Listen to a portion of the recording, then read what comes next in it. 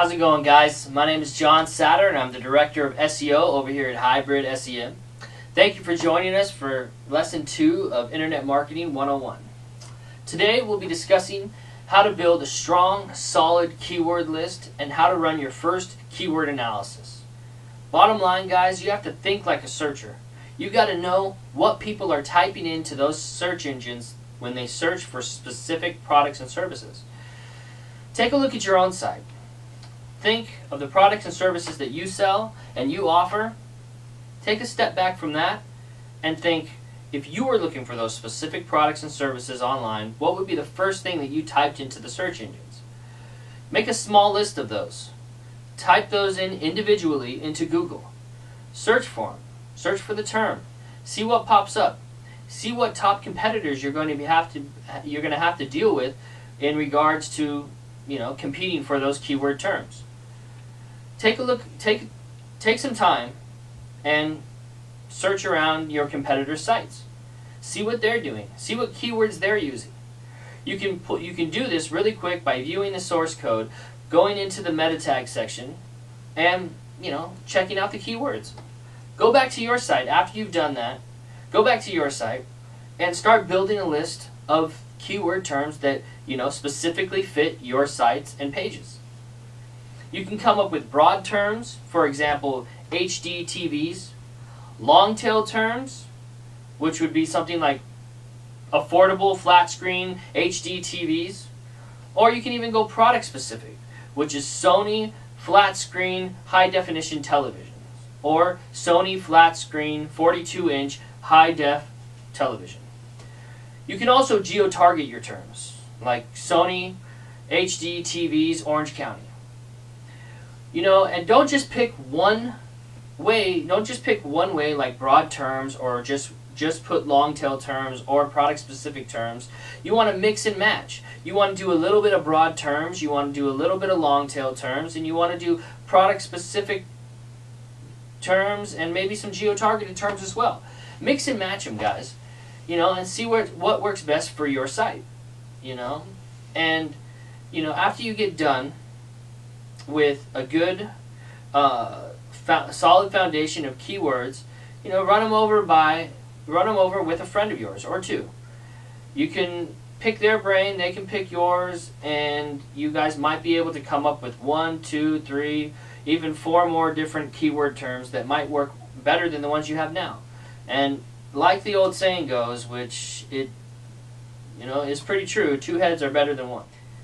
After you've come up with a solid, strong keyword list that you feel comfortable with, it's time to run your first keyword analysis. Now over here at Hybrid SEM, we use a number of keyword uh, analyzer tools, and the three that come to mind are Google AdWords, Keyword Discovery, and Word Tracker.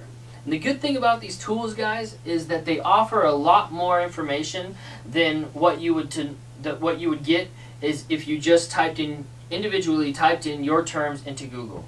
Of course, Google brings up the, your competitors, and also, you know, it's going to bring up how popular or how um, difficult it is to rank for certain terms, or how competitive it's going to be to rank for certain terms. With, uh, let's say, Word Tracker, it when you pull when you put in a term and you you know analyze that term, what comes back is how many times in a day that specific term is searched. Now, it can even go how many times in a week or how many times in a month. And also, you don't just get that specific term back.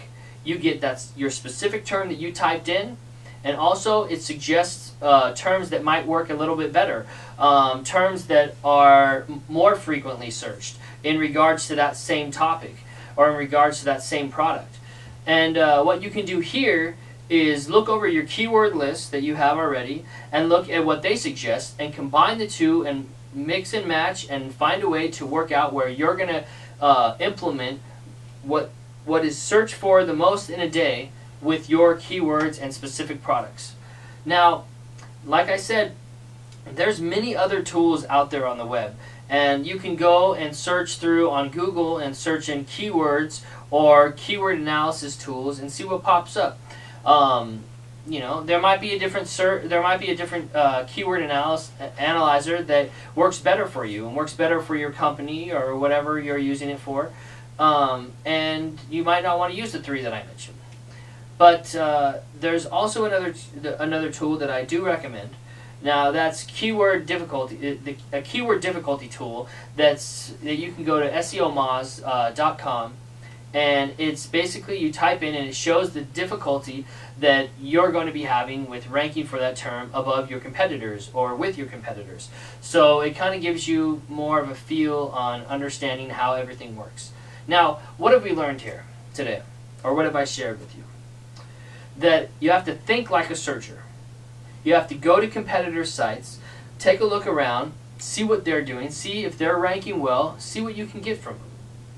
And when you go to make your list, don't just think one way to present your keywords. Think broad terms, long tail terms, product specific, uh, product specific terms, and geo targeted terms. And also, you need to run a good keyword analysis and find a good program to run your keyword analysis so you can understand how your keyword is going to uh, how well your keyword is going to rank above the competition and also you know don't just run one uh, keyword analysis uh, key, keyword analysis uh, tool. Run Mini, Run Google AdWords, Keyword Discovery, and Word Tracker because they're all a little different, and you can always get a few different ideas from each each one of them. Thank you, and look forward to speaking with you next week.